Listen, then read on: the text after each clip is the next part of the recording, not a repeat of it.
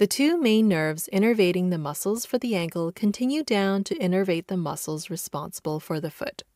The tibial nerve originates at L5, S1, and S2 nerve roots together with the common fibular nerve.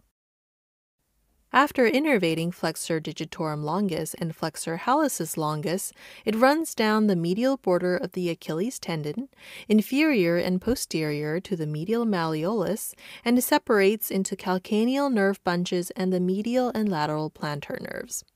The medial plantar nerve innervates the abductor hallucis, flexor digitorum brevis, flexor hallucis brevis, and the first lumbrical.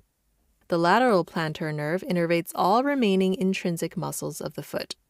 The other major nerve is the common fibular nerve, originating at the nerve roots of L4, S1, and S2, which further divides into the superficial and deep fibular nerves.